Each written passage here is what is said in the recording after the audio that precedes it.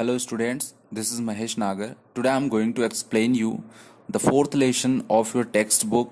The lesson name is Dream Children, a Reverie, which is written by Charles Lame. Dream children a reverie का मतलब क्या होता है dream children मतलब सपनों के बच्चे और रिवरी मतलब दिन में देखा जाने वाला सपना ठीक है तो कोई भी जो दिन में सो जाता है नींद आ जाती है उससे जो सपने आते हैं उसको हम डे डे ड्रीम बोलते हैं तो दिन में ये सपना देखा गया था जो कि बच्चों के बारे में है। लिखा है इसको चार्ल्स लेम ने। चार्ल्स लेम जिनका जन्म 1775 में हुआ था और उनकी डेथ जो है वो 1834 में हुई थी। उनके सबसे बेस्ट फ्रेंड जो थे वो कॉलरिज थे। कॉलरिज जो है, उसको आज भी याद किया जाता है। वो भी एक बहुत अच्छे रेनोड राइटर रहे हैं। ठीक है, बहुत अच्छे राइटर रहे हैं वो। ये जो ऐसे है, ये जो लेशन है ड्रीम चिल्ड्रन ए रिवरी ये ऐसे है। और इसमें एक खास एलिमेंट जो है, वो है that is autobiographical means this this is the essay written by Charles Lamb which is an autobiographical essay Charles Lamb जो है, उनको प्रिंस ऑफ़ इंग्लिश एसेस्ट के नाम से भी जाना जाता है, क्योंकि ये एक बहुत फ़ेमस ऐसे राइटर रहे थे अपने जमाने के। हम इस ऐसे के बारे में पढ़ते हैं, लेकिन उससे पहले मैं आपको ऐसे का थोड़ा सा इंट्रोडक्शन दे देता हूँ। लैम जो है लगभग पचास साल के थे जब इस ऐसे को लिखा। ये अपने अर्ली टाइम में ही, लाइफ के अर्ली टाइम में ही किसी रीजन की वजह से, किसी डिसीज की वजह से ये लंगड़े हो गए थे। लैम थे ये, ठीक है? और बाद में इनके बड़े भाई की डेथ हो जाती है। इसके अलावा ये, जब ये यंग रहते हैं, तब इनका किसी लेडी से, किसी लड़की से अफेयर होता है जिसका नाम सिमोन्स है। बाद में सिमोन्स जो है शादी कर लेती है किसी दूसरे व्यक्ति से, जिसका नाम बार्ट्रम रहता है एंड वो उनको छोड़ देती है मतलब चार्ल्स लेम्स को छोड़ देती है। ये ऐसे में चार्ल्स लेम ने अपनी ग्रैंड मदर फ़ील्ड के बारे में बताया है, जिनके यहाँ पर वो जाया करते थे गर्मियों की छुट्टी में समर वेकेशन में। वो कहीं पर एज ए केयर टेकर किसी घर में रहती थी, जो कि बहुत बड़ा घर था, है ना? वो जो घर था, वो ब्लैक स्वेयर हाउस नाम से जाना जाता था, और हर्टफोर्डशिर नाम की जगह पर वो घर था। काफ़ी इन्फ्लुएंस थे अपनी, जो दादी थी उनसे, और वो दादी किस तरह से प्यार करती थी, वो सारा डिस्क्रिप्शन जो है, यहाँ पर चार्ल्स लेम अपने इमेजिनरी बच्चों को सुनाते हैं। एक्चुअल में इनकी शादी नहीं होती है, ये अपनी एक बहन के साथ रहता है, जिसका नाम मेरी है। और मेरी जो उनकी सिस्टर है, वो मेड है मतलब थोड़ी पागल है तो ये एक लोनली स्थिति में रहते हैं, बहुत अलोन रहते हैं सॉलिटरी कंडीशन में रहते हैं तो काफ़ी फ्रस्ट्रेट है।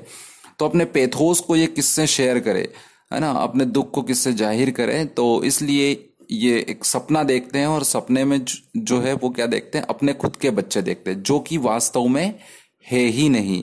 है ना प्रेजेंट में, हकीकत में वो नहीं है, उनका कोई अस्तित्व नहीं है एग्जिस्टेंस नहीं है बट फिर भी एक सपना देखते हैं और क्या सपना देखते हैं, हम स्टार्ट करते हैं चलिए chapter children have to listen to stories about their elders बच्चों को अक्सर उनके बड़ों के बारे में कहानियाँ सुनना अच्छा लगता है।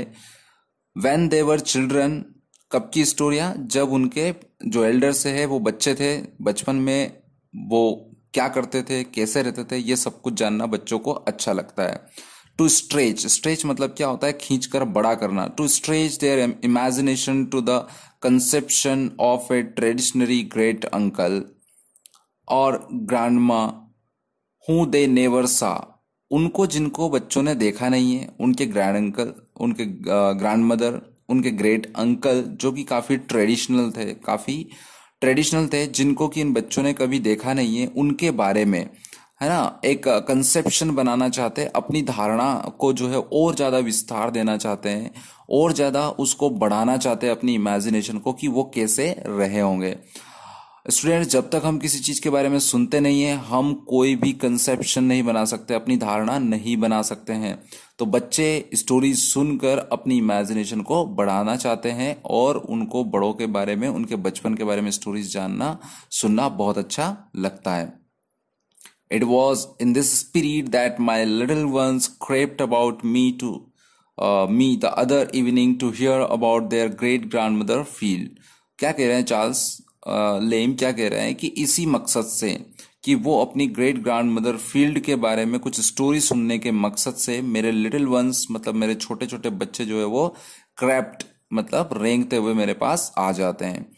और उस दादी के बारे में वो स्टोरी सुनना चाहते हैं who live in great house in Norfolk a hundred times bigger than that in which they and papa lived वो बच्चे उस दादी के बारे में, उस ग्रैंड मदर के बारे में जानना चाहते हैं, जो कि कहाँ रहती थी? एक बहुत बड़े घर में रहती थी, जो कि नॉर्फॉक में है, और वो घर इतना बड़ा है, जिसमें कि अभी ये बच्चे और उनके पापा, यानी कि चार्ल्स लेम रहते हैं। एक्चुअली यहाँ पर चार्ल्स लेम ने बताया नहीं कि वो रहते हैं बट एक सपना जो है उनका वो डिस्क्राइब किया है। Which had been the scene उस घर का सीन क्या हो चुका है अब? So at least it was generally believed in that part of the country और वहाँ के सीन जो है, दृश्य उस घर के आसपास के या घर के, उन सबको देखते हुए अक्सर ये माना गया था पास्ट में ऐसा माना जाता था of the tragic incidents which they had lately become become familiar with from the ballad of the children in the wood wood मतलब जंगल के आसपास वो घर था, जंगल था आसपास तो वहाँ पर कुछ बालाट सुनाई देते थे। मतलब कि लोगों को ऐसा लगता था कि वहाँ पर कोई भूत भूत या प्रेतात्मा है तो उस चीज़ से डरा करते थे। लेकिन चार्ल्स लैम कहते हैं कि बाद में जो ग्रेट ग्रैंड मदर उनकी बच्चों की है फ़ील्ड वहाँ पर जो है, वो सब एडॉप्ट कर लिया था उनने एटमोसफियर उनको कोई डर नहीं लगता था। certain it is that the whole story of the children and their cruel uncle was to be seen fairly carved out in wood upon the chimney pieces of the great hall वो बड़ा सा great hall था उसके जो chimney pots थे उन chimney pots के तले, यानी कि उनके ही आसपास, और उस बड़े से जो वुड था, घर के आसपास, जो बड़ा सा घर था, उसके आसपास जो जंगल था, वहीं पे पूरे बच्चों और उन बच्चों को जिनको ये स्टोरी सुना रहे, उनके क्रूल अंकल क्रूल क्यों कहा है? क्योंकि वो थोड़े से बदमिजाज अंकल थे इनके, इसलिए मतलब जो स्टोरी सुना रहा है, चार्ल्स लेम है तो उसका भाई जो है वो क्रूल था, थोड़ा सा बदमिजाज था, इसलिए उसको क्रूल अंकल का वर्ड से जो है यूज़ किया है। तो उनका सारी स्टोरी जो है वो कार्ड मतलब कि उकेरी गई है, बुनी गई है। कहाँ पर बुनी गई है? उस ग्रेट हॉल के आसपास। The whole story down to the robin redbreast पूरी स्टोरी जो है वो कहाँ पर कहाँ से आई गई है? उसी घर से, उस बड़े से घर से, जिसका जो मालिक था वो कौन था? रॉबिन रेड ब्रीड्स था।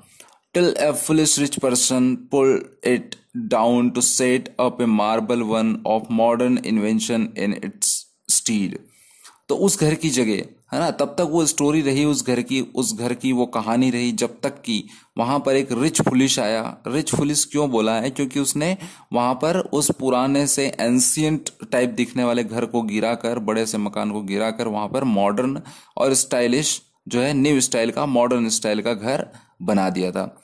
विथ नो स्टोरी अपॉन जिसकी कोई कहानी नहीं थी here Alice Alice is the daughter है ना ये स्पीकर की डॉटर है Here, Alice put out one of her dear mother's looks to tender to be called upbraiding. यहाँ पर एलिस जो है एलिस लड़की है जो कि हाँ स्पीकर की लड़की है जिसको वो स्टोरी सुना रहा है। बच्ची है छोटी है ना? तो वो बोल रहा है कि यहाँ पर उसको क्या लगता है उस एलिस की तरफ़ देखकर कि वो अपनी माँ, यानी कि स्पीकर की वाइफ का लुक वो दे रही है।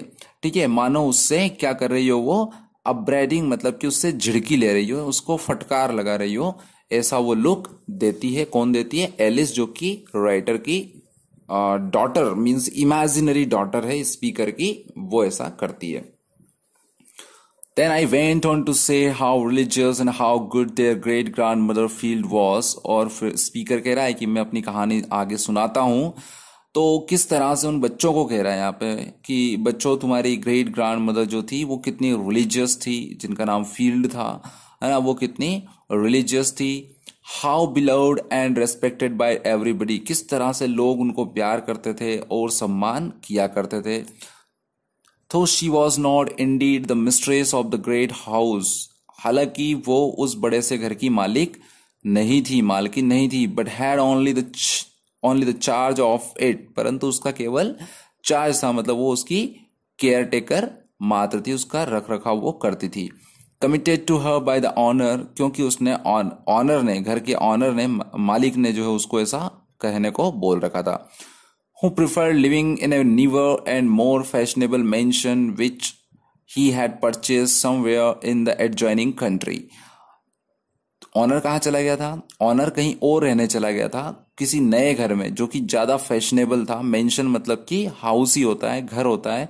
तो वहाँ पर वो रहने चला गया था, जिस, जो कि उसने एडजॉइनिंग मतलब कि पास ही की दूसरी कंट्री में खरीद रखा था। बस but still she lived in it in a manner as if it had been her own परंतु अब जो फ़ील्ड थी ग्रेट ग्रांड मदर फ़ील्ड उन बच्चों की, वो अब भी उस घर में इस तरह से रहती इस अंदाज में रहती थी कि मानो वो खुद ही उस घर की मालकिन हो। And kept up the dignity of the great house in a short while she lived और जब तक वो जीवित रही, उस घर की जो डिग्निटी है, सम्मान है, वो उन्होंने बनाया रखा। Which after afterwards came to decay बाद में उनकी डेथ के बाद जो है वो मकान डिके मतलब उसका पतन हो गया, है ना? वो घर गिर गया या खराब हो गया and was nearly pulled down और लगभग गिरने की कगार पर वो आकर खड़ा हो गया मतलब गिरने लायक हो गया, वो जर्जर हो गया।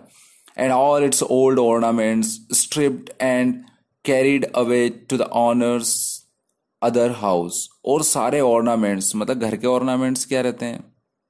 घर के ऑर्नामेंट्स जिस तरह से एक औरत के ऑर्नामेंट्स यानी कि उसके आभूषण छीन लिए जाते हैं स्ट्रिप्ड मतलब कि छीन लिए जाते हैं तो वो उसकी खूबसूरती जो है वो कम हो जाती है। उसी तरह से इस घर में से सारे ऑर्नामेंट्स मतलब सारी सजावट जो एसेसरीज जो थी इस घर की अच्छे स्टोन्स थे या कुछ टॉम वगैरह उसमें बना होगा या कुछ भी बर्ड्स वगैरह होंगे, वो सारे निकाल लिए गए, है ना? वो सारे निकाल के कहाँ ले जाए गए? ऑनर के नए घर में ले जाए गए। वेयर देवर सेटअप जहाँ पर उनको लगाया गया and looked as awkward as if same if someone were to carry away the old tomb they had seen late lately at the abbey abbey मतलब कि एक जगह है जहाँ पर uh, जो क्रिश्चियन है वो उनके जो हाई क्लास हाई प्रोफ़ाइल लोग थे उनको दफनाया जाता था। तो वहाँ से मानो एक टॉम टॉम मतलब कि वो उनका चबूतरा जहाँ पे मर जाते हैं, जहाँ पे दफनाने के बाद वो चबूतरा बनाते हैं, उस चबूतरे को टॉम बोलते हैं। तो ऐसा लग रहा है उस नए घर में, ये पुराने घर के जो ऑर्नामेंट्स यानी कि साजो सामान ऐसे लग रहे हैं, मानो कि वो उस एबे में से कोई टॉम जो है वो निकाल कर दूर ले जाया गया है और वहाँ पर जिस तरह से वो लगता है, उसी तरह से बदसूरत लग रहे हैं। And stick them up in lady dry gilt drawing room और कहाँ पर इनको स्टिक कर दिया है? इनको टिका दिया है, कहाँ पर लगा दिया है इनको? लेडी सी के टाउड्री मीन्स बिल्कुल भड़कीला और गिल्ट मतलब सोने का पानी जो होता है वो, है ना? उनके ऊपर लगाकर जो है वो उनके ड्राइंग रूम में सजा दिए गए। हेयर जॉन स्माइल्ड जॉन कौन है? जॉन जो है वो हमारे स्पीकर का बच्चा है। एक तो एलिस हो गई डॉटर और जॉन सन है। वो स्माइल करता है एज मच एज टू से ऐसा लगता है जैसे वो क्या कहना चाह रहा है?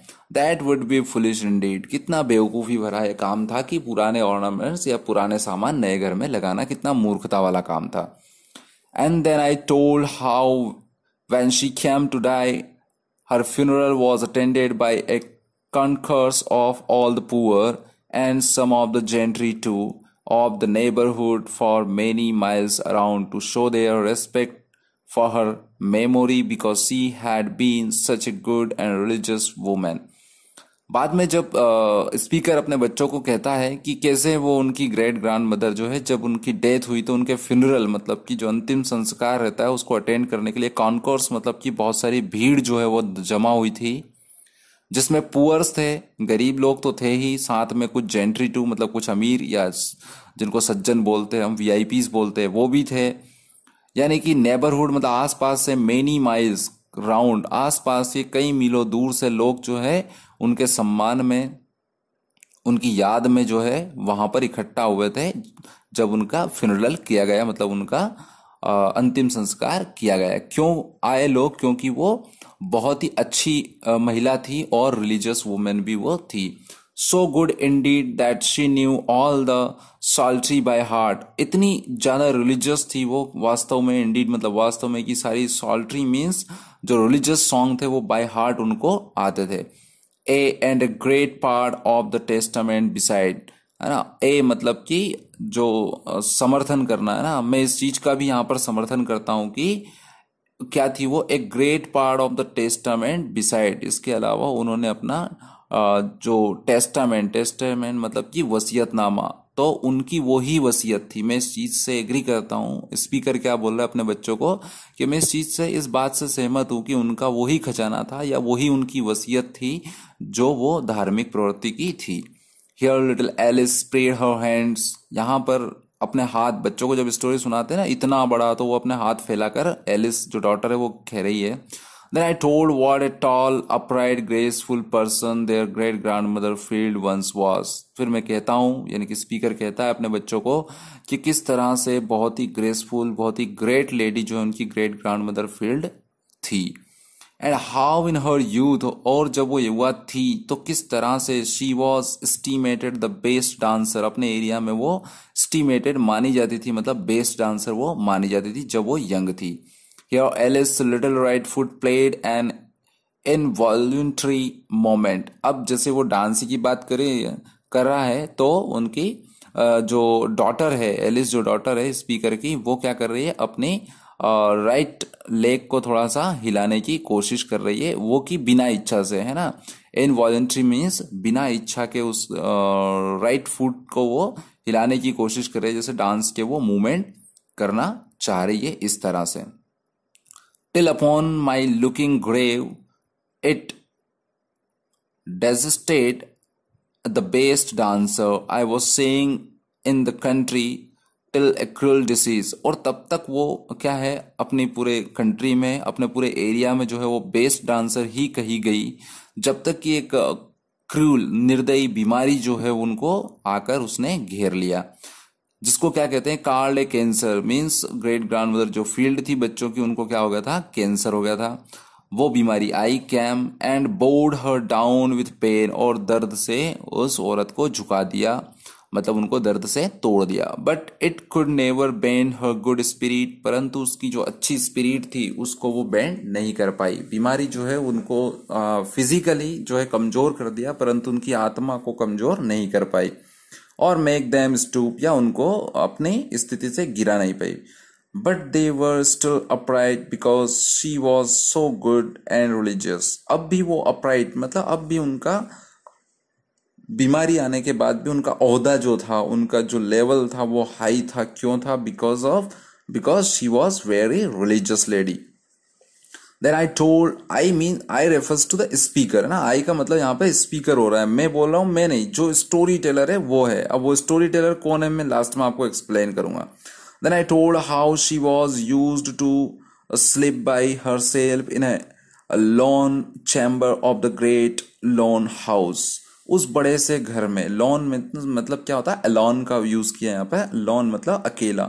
उस सुनसान घर में, सुनसान से बड़े से हॉल में किस तरह से वो अकेली ही सो जाया करती थी and how she believe that और ये भी मानती थी वो, क्या मानती थी कि an apparition of two infants apparition मतलब होता है भूत, है ना, छोटा भूत, है ना टू इन्फेंट्स दो इन्फेंट्स नवजात बच्चों के भूत जो है वहाँ पर was to be seen at midnight, gliding up and down the great staircase near where she slept. जहाँ पर वो सोती है, उसके पास जो बड़ी सी सीढ़ी है, वहाँ से वो अप डाउन मिडनाइट को वो दिखाई देते हैं, रात को दिखाई देते हैं और वो अप डाउन होते रहते हैं, ऐसा वो मानती थी। बट सी सेट परंतु वो क्या कहती थी कि हाँ वहाँ पर छोटे छोटे बच्चों के भूत थे भूत होते थे मिडनाइट को, पर वहीं मैं सोआ करती थी, पर वो क्या कहती थी? Those innocents would do her no harm उसका कहना था कि वो जो इनोसेंट जो भूत थे, उसको कोई नुकसान नहीं करते थे। And how frightened I used to be और राइटर क्या बोल रहा है कि जब मैं वहाँ जाता था तो मैं कितना फ्राइटन मतलब डरा हुआ रहता था। तो in those days I had my maid to sleep with me तो उनके घर पे एक मेड मतलब एक नौकरानी थी तो किस तरह से जब वो छोटे थे स्पीकर तो जब वो अपनी दादी के घर समर वेकेशन में जाते थे तो स्पीकर जो है वो किस तरह से अपनी मैड के पास जो है वो सोया करता था, वो उसको सुलाती थी अपने पास। Because I was never half so good और रिलीजियस एज शी क्योंकि मैं तो रिलीजियस नहीं थे रिलीजन में क्या माना जाता है? हम क्या मानते हैं जनरली कि भूत वगैरह जो है ना, वो जो धार्मिक प्रवृत्ति के लोग हैं, जो रिलीजन को मानते हैं भगवान को मानते प्रेयर करते हैं, उनको वो नहीं सता सकते। तो हमारा स्पीकर भी क्या बोल रहा है कि जिस तरह से जो ग्रेट ग्रांड मदर है बच्चों की, वो जितनी रिलीजियस थी, उससे आधा भी जो है मैं मैं धार्मिक नहीं था, इसलिए मुझे डर लगता था।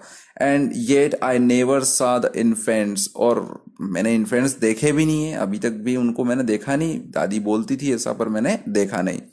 Here John John expanded all his eye eyebrows and try to look courageous यहाँ पर जॉन जो बच्चा है छोटा सा, वो उसने भूत का नाम सुना तो वो अपने एक्सपांडेड ऑल हिज आईब्रोज अपनी आँखों को थोड़ा बोहे को थोड़ा फैलाकर और दिखाने की कोशिश करता है कि वो कॉरेजियस है वो साहसी है वो भूत वगैरह से डरता नहीं है अपना एक्सप्रेशन देता है मतलब। Then I told how good she was to all her grandchildren और फिर स्पीकर uh, क्या कहता है कि वो जो ग्रेट ग्रैंड मदर थी उन बच्चों की वो अपने ग्रैंड चिल्ड्रन अपने नाती पोतियों के प्रति कितनी अच्छा बिहेव वो करती थी। Having us to the great house in the holidays क्योंकि हमें उस बड़े से घर में जो है वो हॉलीडेज में बुलाती थी। Where I, in particular, used to spend many hours by myself. उस घर में, इतना बड़ा घर था तो मैं स्पीकर क्या बोला कि मैं जो है, उस घर में कई सारे घंटे अकेला ही बिताया करता था। क्या करता था अकेला ये? In gazing upon the old busts of the twelve Caesars क्या करता था? गैजिंग मतलब घूरता रहता था। किसको? ओल्ड बर्स्ट ओल्ड मतलब पुराने और बर्स्ट मतलब क्या होता है? जैसे गर्दन के ऊपर का हिस्सा है ना? गर्दन के ऊपर का हिस्सा जो अपना सर और मुँह रहता है ऐसे जो पुतले लगे रहते हैं उनके उनको बोलते हैं अपन busts of twelve Caesars twelve Caesar का होगा आपने? सीजर ट्वेल्व सीजर कौन है? है ना? ट्वेल्व सीजर जो थे आ, आ, आपने सुना होगा जूलियस सीजर का नाम है ना? तो वो ये सीजर थे सीजर वन सीजर टू ऐसा ऐसे इनके अलग अलग नेम्स थे।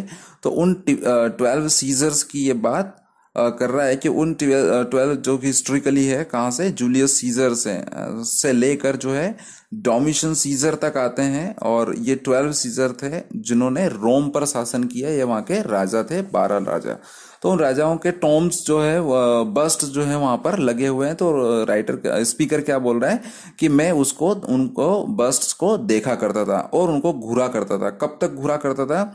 दैट हैड बीन एम्परर्स क्या थे? वो emperors of Rome till the old marble heads would seem to live again जब तक देखता रहता था, जब तक कि वो जो मार्बल हेड्स थे मतलब सर के जो मार्बल के जो सर बने हुए थे, जब तक वो मुझे ज़िंदा नहीं लगने लगा ऐसा लगने लग जाता उसको कि शायद ये जीवित हो चुके हैं। और I to be turn into marble with them या तो फिर मैं खुद ही जो है उनको देख देख के मार्बल की तरह जम जाता था, है ना? तब तक मैं उनको देखता था। How I never could be tired with ro- roaming about that huge mansion और किस तरह से वो बता रहा है स्पीकर बता रहा है कि किस तरह से मैं पूरे घर में जो है वो घूमते रहता था अकेला, पर कभी मैं वॉन्डरिंग करना मतलब कि बिना वजह से घूमना या बिना मकसद से रोम करना। रोमिंग मतलब कि वॉन्डरिंग करना, बिना मकसद से यहाँ वहाँ घूमना। तो किस तरह से मैं बिल्कुल थकता नहीं था वहाँ पर और इधर उधर घूमता रहता था। With its vast empty rooms उसके बड़े बड़े खाली रूम थे with their worn out hangings है ना? वहाँ पर क्या था? वॉर्न आउट हैंगिंग्स हैंगिंग्स मतलब जो पर्दे वगैरह जो लगे रहते हैं, उनको बोलते हैं और वॉर्न आउट मतलब घिसे हुए मतलब पुराने पर्दे लगे हुए थे।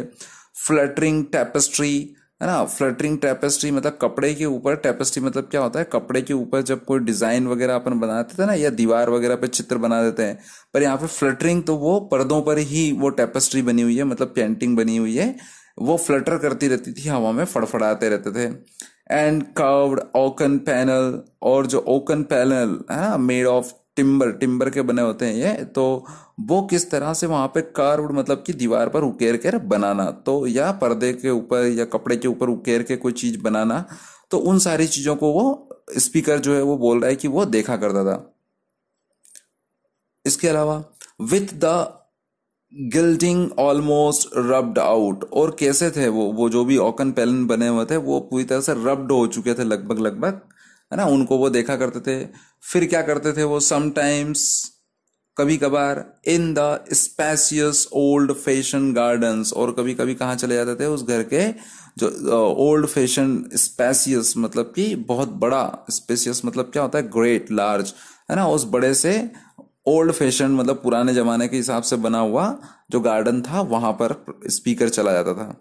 Which I had almost to myself और वहाँ पर लगभग उस पूरे गार्डन में वो अकेला ही हुआ करता था। कब तक अकेला रहता था? Unless when now and then solitary gardening man would cross me जब तक कि वहाँ पर भी एक गार्डनिंग मैन रहता था गार्डनर रहता था, वो भी क्या था? सॉलिटरी थी मतलब अकेला रहता था। तो स्पीकर बोल रहा है कि मैं उस गार्डन में अकेला ही घुमा करता था, जब तक कि कोई वहाँ पर रहने वाला जो गार्डनर था, वो मुझे नहीं दिखाई देता, तब तक मैं अकेला था। वो मुझे क्रॉस करता तो मुझे लगता कि कोई और भी यहाँ पर है। एंड हाउ द नेक्टरियंस है ना? नेक्टेरियंस क्या होता है? एक फ्रूट होता है ना? ड्राई फ्रूट में आता है तो how the nectarines and peaches hung upon the walls तो ये बेलों में लगते हैं। तो किस तरह से दीवारों पर बेलें चढ़ी हुई है? पीचेस मतलब नाशपति या आड़ू बोलते हैं इसको हिंदी में। तो वो किस तरह से लगे हुए थे? है ना without my ever offering to pluck them और मैं अपने आप को कभी ऑफ़र नहीं करता कि मैं उनको तोड़ लूँ, है ना? क्योंकि जनरली बच्चों को फल पसंद होते हैं, वो तोड़ के खाने लग जाते हैं बट ये बच्चा था स्पीकर उस समय, पर फिर भी कभी अपने को ऑफ़र इसने नहीं दिया, उनको सिर्फ़ देखता रहता था। Because they were forbidden fruit वो मानता था स्पीकर क्या मानता था कि ये फॉरबिडन मतलब भुला दिए गए इनके बारे में कोई आजकल ध्यान नहीं देता, ऐसे फ्रूट्स थे वो। अनलेस नाउ एंड देन है ना, यहाँ वहाँ मतलब कि ऐसे करता रहता था अभी तभी यहाँ वहाँ घूमता रहता था। And because I had more pleasure in strolling about among the old melancholy looking yew trees और क्या कहता था वो? ये बहुत इंपॉर्टेंट क्वेश्चन है कि जब घर में जो राइटर था स्पीकर था, जब वो घर में था तो उस बड़े घर में वो अकेला क्या किया करता था? तो ये सारा जो चीज़ें है वो इसमें आंसर में आएगी। और क्या करता था वो? उसको क्या पसंद था? उनको प्लेजर मिलता था, खुशी मिलती थी, काय में मिलती थी? स्ट्रोलिंग स्ट्रोलिंग मतलब आवारा घूमने में, है ना? About among the old melancholy melancholy मतलब क्या होता है? एक तरह से उदास हुआ, है ना? उदास सा दिखने वाला जो यव का ट्री है, उन ट्रीज के बीच में घूमना, आवारा घूमना मुझे अच्छा लगता था। और the firs and picking up the red berries और जो फर्स है है ना, बड़े जो लंबे ऊँचे पेड़ होते हैं, उनको फर्स ट्री फर ट्रीज बोलते हैं। और जो रेड बेरीज है, उनको पिक करना करने का काम किया करता था मैं। एंड द फॉर एप्पल और एप्पल पिक करने का काम करता था। Which were good for nothing but to look at क्या बोल रहा है कि वो किसी काम के नहीं थे ना? किसी काम के मेरे लिए नहीं थे। गुड फॉर नथिंग मतलब किसी काम के लिए, के नहीं थे, पर मैं सिर्फ़ उनको देखा करता था। और in lying about upon the fresh grass अगर ये सब नहीं करता रहता तो इसके अलावा क्या करता है स्पीकर जो फ्रेश एयर थी, उसके ऊपर सो जाया करता था, लेट जाया करता था. With all the fine garden smells around me और गार्डन में तो क्योंकि फ्लावर भी होते हैं फ्रूट्स भी होते हैं तो उनकी खुशबू जो है पूरे गार्डन में मुझे आती रहती थी. और बास्किंग इन द ऑरेंजरी या तो फिर मैं ऑरेंज को उठा उठा के बास्केट में रखता था. Till I could almost fancy myself ripening to along with the oranges and the limes in that grateful warmth और जब तक, कब तक ये काम करता रहता था स्पीकर जब तक कि वो फैंसी मतलब कि उसकी इमेजिनेशंस जो है, वो पूरी तरह से गर्म जोशी जो रहती है, वो पूरी तरह से खत्म नहीं हो जाती। उन फलों के जैसे जो है, वो भी पक नहीं जाता। तब तक जो स्पीकर है, क्या करता रहता? उनको पिक करता रहता या इधर उधर घूमता रहता था। अगर ऐसा नहीं करता तो इसके अलावा और भी कुछ काम थे जो करता था वो घर में अकेले अकेले और इन वॉचिंग द डेस डेस मतलब एक तरह की मछली होती है दैट डार्टेड डार्टेड मतलब कि पानी में जब वो गोते लगाती है ना तो जब वो गोते लगाती थी तो उस डेस को वो देखता था to and fro in the fish pond और जो फ़िश का जो पोन्ड जो रहता है ना, बना हुआ जिसमें तालाब टाइप या आर्टिफिशियल बना देते हैं, उसमें क्या होता है फ्रो मतलब इधर उधर है ना फ्रो मतलब क्या होता है इधर उधर तो इधर उधर जब वो मछली उसमें डार्टिंग करती फ़िश पोन्ड में तो उसको वो देखता था एट द बॉटम बॉटम पे चली जाती कभी of the garden with there and here and there a great sulky pike hanging midway down the water in silent state और फिर डाउन द गार्डन मतलब गार्डन में नीचे की तरफ़। क्या रहता था? हियर एंड देयर यहाँ, वहाँ जो है वो एक ग्रेट सल्की पाइक ठीक है, ये सल्की पाइक मतलब क्या होता है सल्की मतलब होता है एक तरह से उदास और पाइक पाइक जो है एक तरह की फ़िश होती है। तो एक उदास जो फ़िश है, वो क्या करती थी? वो डाउन टू गार्डन मतलब कि गार्डन में यहाँ से वहाँ पानी का जो था उसका मतलब पौंड उसी में वो घूमती रहती थी। है ना? Midway down the water है ना, पानी जब नीचे बेके जाता था या पानी उसमें से भरा रहता था, उसके बीचों बीच जो है वो मछली जो है वो साइलेंट स्टेट में रहती थी बीचों बीच उसमें as if it mocked at their impatient frisking और कैसा लगती थी कि पूरी तरीके से वो इम्पेशेंट है इम्पेशेंट एंड मोक्ड मोक्ड मतलब कि मज़ाक उड़ाना। ऐसा लगता था जैसे कि वो कोई मज़ाक कर रही है और इम्पेशेंट मतलब क्या होता है? अभेद।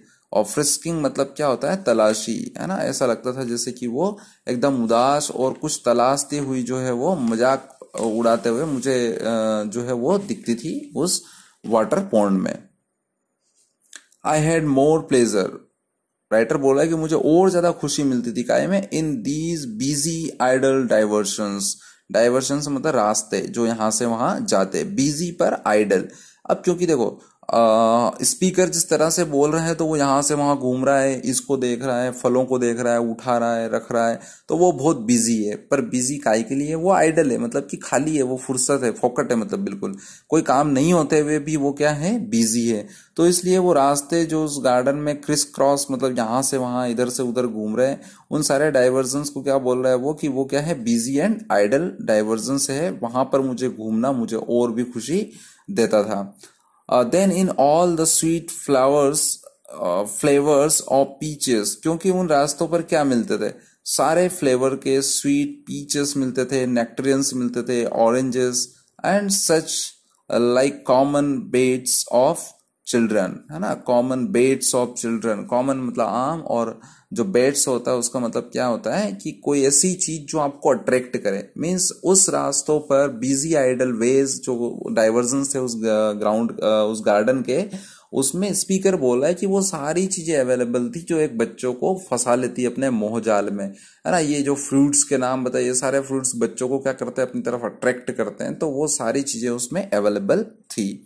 Here John slyly deposited back upon the plate a bunch of grapes यहाँ पर जॉन अब प्रेजेंट में आ जाता है, वो तो प्रेजेंट में क्या कह रहा है कि जब मैं स्टोरी सुना रहा हूँ तो जॉन मतलब मेरा बेटा है, वो धीरे से बंच को उठा लेता है which is which not unobserved by Alice जो कि एलिस भी क्या कर लेती है, देख लेती है ना। देखो, यहाँ पे नॉट भी लगा है और ऑब्ज़र्व में अन भी लगा है तो दोनों, वो नेगेटिव और नेगेटिव दोनों क्या हो जाते हैं पॉजिटिव हो जाते हैं ना। तो यहाँ पे क्या बोल रहा है कि एलिस ने उसको ऑब्ज़र्व कर लिया है he had meditated dividing with her और फिर यहाँ वो एलिस के साथ डिवाइड कर लेता है मतलब बांट के वो ले लेते हैं। And both seemed willing to relinquish them for the present as irrelevant और दोनों को ही uh, क्या लगता है दोनों ही क्या हो जाते हैं? और रेलिंकिस दिखते हैं मतलब कि उन्होंने छोड़ देना या त्याग देना। वो आ, मतलब कि प्रेजेंट सिचुएशन से वो हम अंदर जा चुके हैं कहानी में वो घुस चुके थे।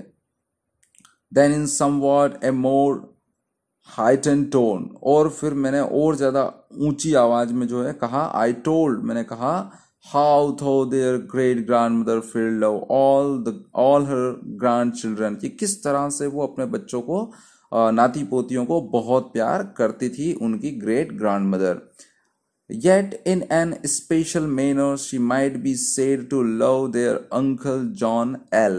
John L मतलब हम बोल सकते हैं जॉन लैम इसने पूरा नहीं लिखा है। तो ये स्पीकर का भाई है। तो वो बोल रहे हैं कि वो सब बच्चों से ग्रेट ग्रांडर फ़ील्ड जो है प्यार करती थी, पर वो स्पेशल मैनर में किससे सबसे ज़्यादा प्यार करती थी? उनके अंकल मतलब बच्चों के एलिस और जॉन के अंकल, जिनका नाम था जॉन एल उनसे प्यार करती थी। क्यों करती थी? Because he was so handsome and spirited a young youth spirited a youth वो कैसा था? वो एक हैंडसम बच्चा था और यूथ था, इसलिए उसको वो ज़्यादा पसंद करती थी। And a king of the rest of us और हम सब में बड़ा होने के कारण हमारा हमारा राजा की तरह वो था। And instead of moping about in solitary corners और यहाँ तक कि वो इंस्टीट मतलब के स्थान पर, है ना? मोपिंग मोपिंग का मतलब होता है बदमिजाज होना। तो हमारे जैसा वो बदमिजाज होकर कॉर्नर में ना पड़े रहने के अलावा वो क्या करता था? जैसे कि स्पीकर ने खुद ने एक्सेप्ट किया है कि वो अकेला ही गार्डन में यहाँ वहाँ घूमा करता था, लेकिन उसका जो भाई था बड़ा, जिसका नाम जॉन एल था, वो क्या करता था? किसी सॉलिटरी कॉर्नर्स मतलब कि घर के किसी खाली कोने में नहीं रहता था। लाइक सम ऑफ़ अस जैसा कि हम रहा करते थे ही वुड माउंट माउंट मतलब ऊपर चढ़ना the most mettlesome mettlesome मतलब फास्ट रनिंग हॉर्स जो था ही कुड गेट जितना तेज दौड़ने वाला घोड़ा उसको मिल जाए, वो घोड़े पे वो चढ़ जाता। When but an imp no bigger than them है ना? इम्प मतलब जो होता है, एक छोटा भूत होता है, इसका मतलब भी। पर यहाँ पर जो बोलना चाह रहा है, वो क्या बोल रहा है कि वो एक छोटे भूत से थोड़ा सा भी बड़ा नहीं लगता था। एंड मेक इट कैरी और वो घोड़ा जो है, क्या करता था? Make it make him carry him half over the country in the morning एक सुबह सुबह जो है, वो आधी दुनिया को घुमा लाता था। And join the hunters when there were any out और अगर कोई हंटिंग वगैरह रहते थे तो जब भी उसका भाई आउट रहता था, यानी कि जाता था घोड़े पर तो वो कई बार हंटर्स को ज्वाइन कर लेता था। And yet he loved the old great house and gardens too यही नहीं है, वो बाहर जाता था, इसका मतलब ये नहीं कि उस बड़े से घर को वो पसंद नहीं करता, वो बिल्कुल उस गार्डन को और उस घर को वो पसंद भी करता था। But had too much spirit to be always pent up within their boundaries पर हमेशा जो है वो क्या नहीं करना चाहता था? वो पेंट अप है ना? पेंट अप का जो मतलब होता है, उसका मतलब होता है मन में कुछ दबा हुआ होना या मन में कुछ छुपा हुआ होना। तो जब भी जो राइटर है, उसका जो भाई है, वो किसी कॉर्नर में ना रहने की वजह क्या करता था? वो बाहर जाया करता था। उसको वो घर पसंद था, ठीक है? घर के अलावा जो गार्डन है, वो भी पसंद था। परंतु but had too much spirit to be always pent up within their boundaries परंतु उसकी बाउंड्री के अंदर रहना उसके मन में ज़्यादा नहीं रहता था। है ना? मतलब वो उसकी चाहत नहीं थी कि वो घर के अंदर ही रहे। And how their uncle grew up to man's state as brave as he was handsome और जब धीरे धीरे वो बड़ा हुआ, उम्र बड़ी हुई तो किस तरह से वो मेन्स स्टेट मतलब कि एक आदमी बन गया। मतलब एक पूरा बच्चे से क्या बन गया? बड़ा हो गया, वो वयस्क बन गया एडल्ट हो गया और जितना वो हैंडसम था, उतना ही वो बहादुर भी था। To the admiration of everybody हर कोई उसकी तारीफ़ करते। But of their great grandmother Field most especially पर खास करके उसकी तारीफ़, उनकी ग्रेट ग्रांड मदर मतलब कि जॉन और एलिस की ग्रेट ग्रांड मदर किया करती थी। And how he used to carry me upon his back when I was lame तो क्या कह रहा है? स्पीकर के में लंगड़ा था और लेम फुटेड बॉय था तो वो मुझे किस तरह से अपनी बैग पर उठाकर जो है वो मीलों दूर तक मुझे ले जाया करता। For he was a good bit older than me क्योंकि वो मुझसे थोड़ा बड़ा था। Many a mile why I could not walk pain है ना? पेन यानी दर्द की वजह से जब मैं चल नहीं पाता था तो वो कई मीलों तक मुझे अपने पीठ पर बिठा कर ले जाता था। And how in after life he became lame footed too और किस तरह से लाइफ में चेंज आया और किस तरह से उनका जो स्पीकर है उसका जो बड़ा भाई है जॉन एल वो भी क्या हो गया? लंगड़ा हो गया। And I did not always I fear, make allowance allowance enough for him him he was impatient. और मैं कभी इस चीज़ के बारे में सोच ही नहीं पाया। मतलब स्पीकर कहता कि मैं कभी सोच नहीं पाया कि वो कितना इम्पेशेंट था। मतलब उसको जब दर्द होता था वो बिल्कुल भी उसको सहन नहीं करता था। एंड इन पेन और जब दर्द होता था nor remember sufficiently how considerate he had been to me when I was lame अब मुझे समझ नहीं आ रहा है कि जब मैं लेम फुटेड था तो स्पीकर क्या बोलता है कि मुझे याद ही नहीं है, मुझे याद ही नहीं है कि किस तरह से वो मुझे ट्रीट करता था जब मैं लेम था और वो सही साठ था, सही था, उसके पैर नहीं टूटे थे, तब वो मुझे कैसा मानता था। And how when he died और जब वो मरा, जब उसकी डेथ हुई तो क्या हुआ? है ना? स्पीकर बोला है कि how when he died though he had not been dead an hour ऐसा लगता है कि मुझे कि अभी एक ही घंटे की बात है, अभी वो मरा है। It seemed as if he had died a great while ago ऐसा लगता है कभी कभी कि वो बहुत दिन हो गए उसको मरे, और कभी कभी लगता है कि वो अभी अभी मरा है। Such distance there is betwixt life and death betwixt मतलब बिटवीन है ना? तो ऐसा लगता है इतनी, इतना टाइम हो गया है जैसे कि जन्म और मृत्यु betwixt of life and death मतलब जन्म लेने से लेके मौत तक का जो टाइम रहता है, मुझे लगता है कि इतना टाइम जो है उसको मरे हुए हो गया है। And how I bore his death as I thought pretty well eight first सबसे पहले तो मुझे लगा स्पीकर बोल रहा है, सबसे पहले तो मुझे लगा कि जब उसकी डेथ हुई तो ये उसके लिए बहुत अच्छा हुआ है कि वो मर गया, क्योंकि वो बहुत ज़्यादा पेन उसको महसूस होता था। इसलिए स्पीकर सोच रहा है कि वो मर गया तो मुझे लगा कि सबसे पहले तो कि ये सही हुआ। बट आफ्टर वर्ड्स पर उसके बाद क्या हुआ? It haunted and haunted me परंतु ये चीज़ मुझे बड़ी परेशान करने लगी, उसकी मौत मुझे बड़ा परेशान करने लगी and I thought I did not cry or take it to heart as some do और मैंने डिसाइड किया मतलब स्पीकर बोला कि मैंने डिसाइड किया कि मैं रोऊँगा नहीं। जिस तरह से बाकी लोग इस मौत को अपने हार्ट पर ले रहे हैं, मैं नहीं लूँगा और मैं उसके लिए रोऊँगा नहीं। And as I think he would have done it if I had died क्योंकि मुझे यह स्पीकर कहता है कि मुझे लगता था कि अगर उसकी जगह मैं डे, मेरी डेथ होती और वो ज़िंदा रहता तो शायद वो भी यही करता, वो आँसू नहीं बहाता। Yet I missed him all the long अब क्योंकि पूरे पूरे दिन मुझे वो याद आता रहता है and knew not till then how much I had loved him और अब मुझे ये बात पता चली है है ना? अभी तक तो मुझे पता नहीं चली थी, पर उसके मौत के बाद मुझे पता चली कि मैं कितना प्यार उससे करता था। आई मिस्ड हिज काइंडनेस मैं उसकी काइंडनेस दयालुता को याद करता हूँ and I missed his crossness और उसके क्रॉसनेस को भी मैं याद करता हूँ, है ना? क्रॉसनेस का मतलब क्या होता है? एक तरह से जो व्यक्ति रहता है ना बदमिजाज रहता है, बुरा व्यवहार करता है। तो कभी भी जो बुरा व्यवहार करता था वो तो वो भी मुझे अब उसकी क्रॉसनेस भी जो है मुझे याद आती थी। And wished him to be alive again और मैं चाहता हूँ कि वो दोबारा से ज़िंदा हो जाए। To be quarrelling with me क्यों ज़िंदा हो जाए? वो ज़िंदा हो और मुझसे क्वारल करे, मुझसे झगड़ा करे, क्योंकि दो भाइयों के बीच में झगड़ा होता रहता है जब वो छोटे रहते हैं। Rather than not have him again हालाँकि मैं जानता हूँ कि वो दोबारा से जीवित नहीं हो सकता है। And was as uneasy without him as he और जिस तरह से उसके साथ में रहता था, अब उसके बिना रहना जो है वो काफ़ी अनईजी असहज हो गया है। Their poor uncle must have been when the doctor took off his limb means जब डॉक्टर ने उनके लिम को देखा, उनकी बॉडी पार्ट्स को देखा और उनको चेक किया, तब तक उनके अंकल जो है वो मर चुके थे, उनकी डेथ हो चुकी थी, ऐसा वो बता रहा है स्पीकर बता रहा है अपने बच्चों को। Here the children fell a cry अब बच्चे जो है वो रोने लग गए थे क्योंकि उनकी मौत के बारे में सुन के and ask if their little mourning mourning मतलब होता है शोक। Which they had on was to for uncle John और वो अपने फादर से क्या बोलते हैं मतलब स्पीकर से बोलते हैं, बच्चे, कि क्यों ना हमें थोड़ी सी परमिशन दी जाए, हम उनकी आत्मा की शांति के लिए शोक मनाना चाहते हैं थोड़ी देर का। एंड द लुकड अप और ऊपर देखते हैं prayed me not to go on about their uncle और वो मेरी तरफ़ देख के ये प्रार्थना करते हैं कि अब मैं उनके अंकल की स्टोरी उनको ना सुनाओ। But to tell them some stories about their pretty dead mother परंतु बच्चे बोलते हैं कि वो क्या चाहते हैं अब कि उनकी मतलब बच्चों की जो माँ है, वो मर चुकी है तो उनकी, उसकी स्टोरी वो सुनना चाहते हैं। मतलब एलिस और जॉन की जो मदर है, यानी कि स्पीकर की जो वाइफ है, उनके बारे में जानने की वो इच्छा जता रहे हैं।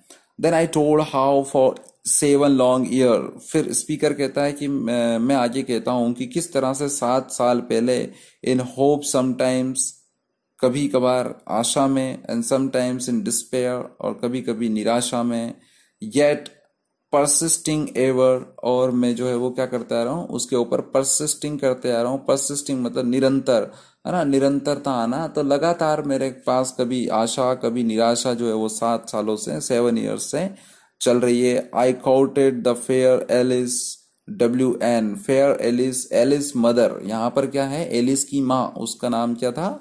आ, उसका नाम जो है ये भी इमेजिनरी नेम है मतलब एक तरह से फिक्शन नेम है है ना? जो हकीकत में नहीं था। एलिस डब्ल्यू एन है ना? तो वो काफ़ी फेयर थी। And as much as children could understand जितना कि बच्चे समझ पाते हैं उस तरह से स्पीकर एक्सप्लेन करने की कोशिश करता है। I explain to them what coyness वो उनको एक्सप्लेन करता है कि किस तरह से उसके अंदर मतलब कि उन बच्चों की माँ, यानी कि स्पीकर की जो वाइफ थी, उसके अंदर कॉइनेस था मतलब कि एक शर्मिलापन उसके अंदर किस तरह से था एंड डिफिकल्टी और किस तरह से वो असहज थी मतलब कि किस तरह से उसको समझ पाना मुश्किल था and Daniel meant in maidens और वो डेनियल डेनियल मतलब कि डिनाई करना मींट इन मेडन्स मेडन्स मतलब होता है कुंवारापन और किस तरह से वो जो है एक तरह से आ, कहने का मतलब है कि वो शादी हो गई बच्चे हो गए उसके बावजूद भी उसका कौमार्य जो है वो कम नहीं हुआ था। When suddenly turning to Alice और ये कहते हुए जब स्पीकर एलिस डॉटर की तरफ़ मुड़ता है the soul of the first Alice first Alice means the mother Alice है ना? एलिस की माँ की बात कर रहा है वो। कि जो राइटर जो स्पीकर है, वो जैसे एलिस की तरफ़, उसकी बेटी की तरफ़ ये कहते हुए घूमता है तो उसके चेहरे में उसको किसका चेहरा नज़र आता है? उसकी माँ का चेहरा नज़र आता है। उसकी आँखें, है ना out at her eyes with such a really reality of representment है ना मीन्स पूरी तरह से उसकी आँखें जो है, उसकी माँ की तरह हैं। That I became in doubt which of them stood there before me और फिर राइट right, स्पीकर जो है वो क्या हो जाता है? कंफ्यूज हो जाता है कि एलिस डॉटर उसके सामने है या उसकी माँ उसके सामने है कुछ क्षणों के लिए। Or whose that bright hair was और वो जो हरे मतलब ब्राइट चमकीले बाल है वो किसके हैं? वाइल आई स्टूड गेजिंग और मैं ऐसा देखते ही रह गया। Both the children gradually grew fainter to my view residing uh, residing and still residing till nothing at last but two mournful feature were seen in the uttermost distance यहाँ पर बहुत इंपॉर्टेंट चीज है एक क्वेश्चन और बनता है कि in what manner mother Alice and daughter Alice are similar means uh, on the basis of which quality they similar, है ना? किस तरह से वो सिमिलर है? तो वो बोल रहा है कि किस तरह से उसकी माँ जो है एलिस मदर जो है, वो किस तरह से फेयर थी क्वाई थी क्वाइनेस उसके अंदर थी एंड उसके जो हेयर्स थे, वो ब्राइट हेयर्स थे,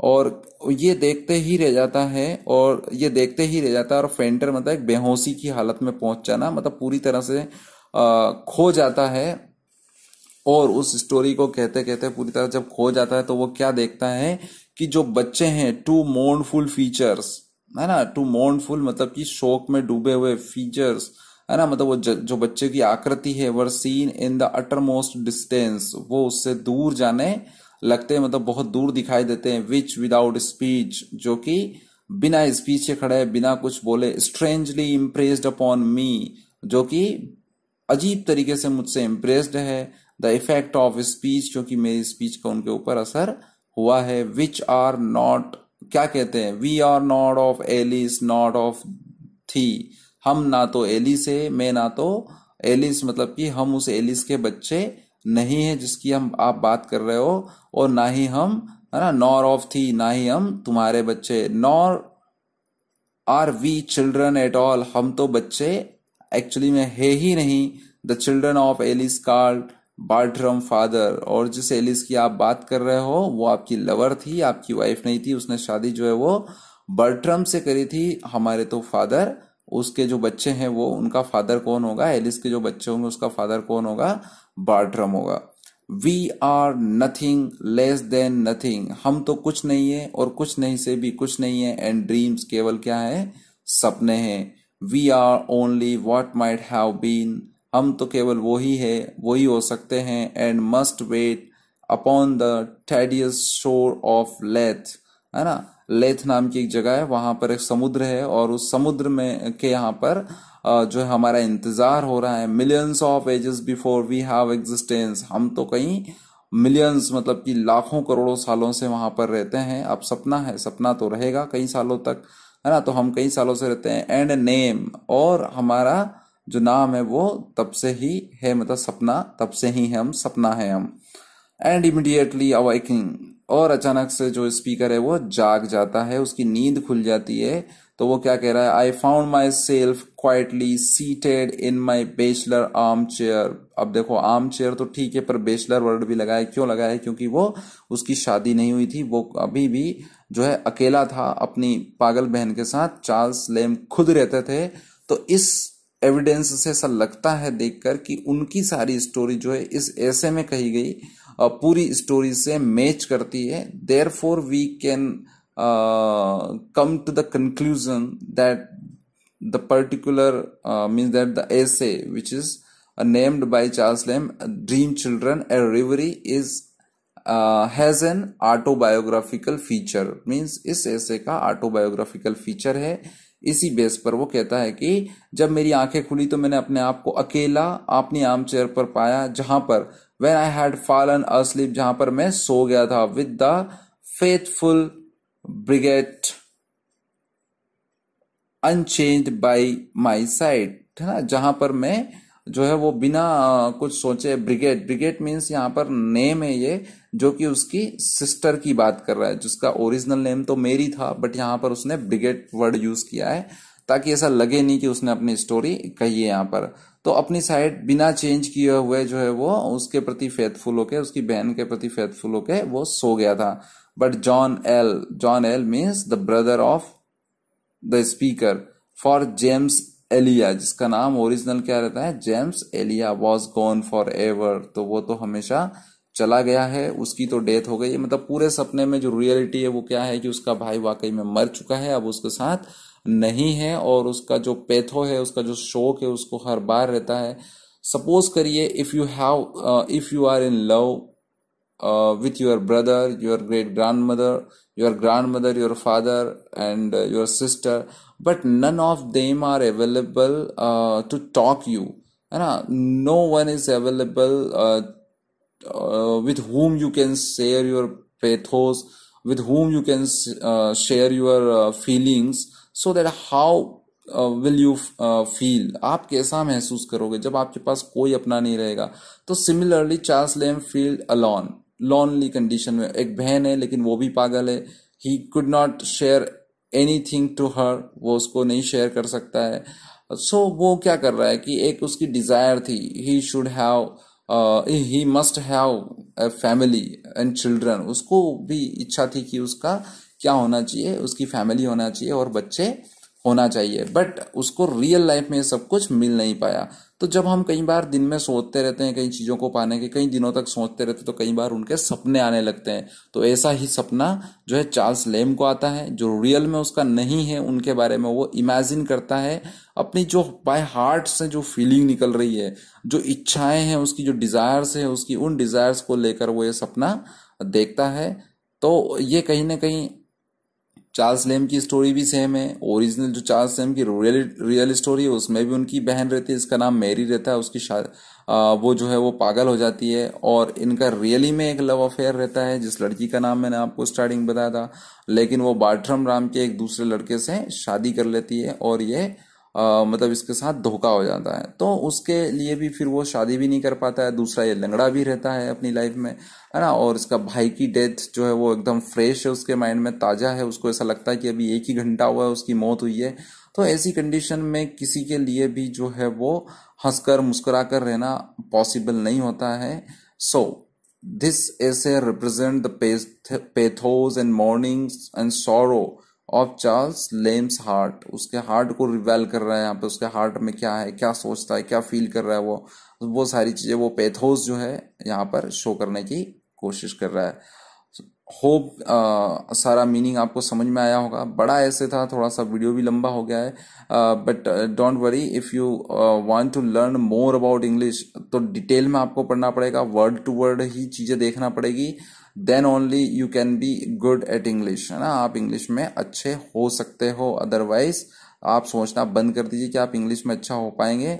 आपको डीपली पढ़ना पड़ेगा। लिटरेचर का नॉलेज लेने के लिए, अपनी वॉकेबुलरी को इंक्रीज करने के लिए आपको वर्ड टू वर्ड इसको देखना पड़ेगा। लंबा या छोटा वीडियो कोई फ़र्क नहीं पड़ता। है अभी समरी दस मिनट में बताई जा सकती है बट उस समरी के बेस पर आप टूटे फूटे क्वेश्चन आंसर लिख सकते हो। डिटेल्ड आंसर आप नहीं लिख सकते हो। जब वर्ड टू वर्ड आप सीखोगे तभी तो आप वर्ड सीखोगे। जब आप वर्ड टू वर्ड नहीं समझोगे तो आपको वर्ड्स याद नहीं रहेंगे। और if you have no words effective words then you can't write your effective answer अगर इफ़ेक्टिव आंसर नहीं लिख पाओगे तो you can't get good marks of your question your answer आपके आंसर के अच्छे नंबर नहीं मिल सकते। सो so, अगर कुछ प्रॉब्लम आती है please comment me subscribe this channel so that अगला चैप्टर आपको टाइम पर अवेलेबल हो जाए। है ना?